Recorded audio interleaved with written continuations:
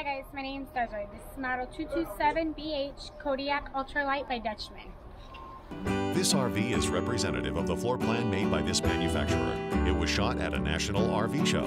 The features, options, colors, fabrics, and specifications may be different from the RV in the dealer's inventory.